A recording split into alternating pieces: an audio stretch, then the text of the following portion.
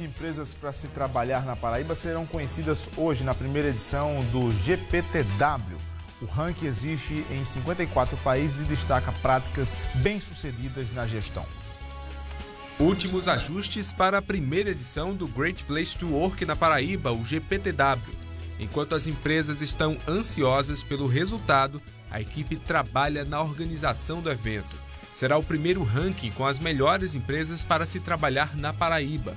A pesquisa existe em 54 países e abrange os seis continentes. Aqui no estado e de forma pioneira, a Associação Brasileira de Recursos Humanos e a Rede Tambaú de Comunicação estão envolvidas nesse evento. O prêmio que vai mostrar para todo o estado as melhores práticas de gestão empresarial, especificamente na gestão de pessoas. O evento acontece nesta quarta-feira à noite no auditório da Fé Comércio, com a participação das empresas concorrentes. Esses preparativos também têm uma outra motivação, que você possa acompanhar tudo.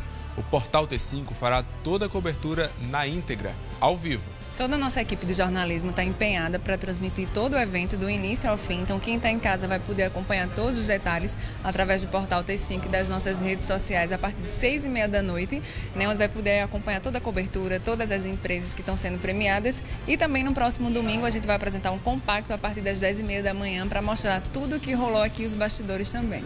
A premiação será conduzida pela jornalista Karine Tenório. Por hoje é só, pessoal. Um abraço para você que está em casa. Muito obrigado pelo seu carinho. A gente volta amanhã com mais uma edição do nosso PN. Para você, uma boa tarde. Para Karine Tenório, um restinho de bom dia, né? uma boa tarde e um bom trabalho. Obrigada, Fábio. Um bom dia.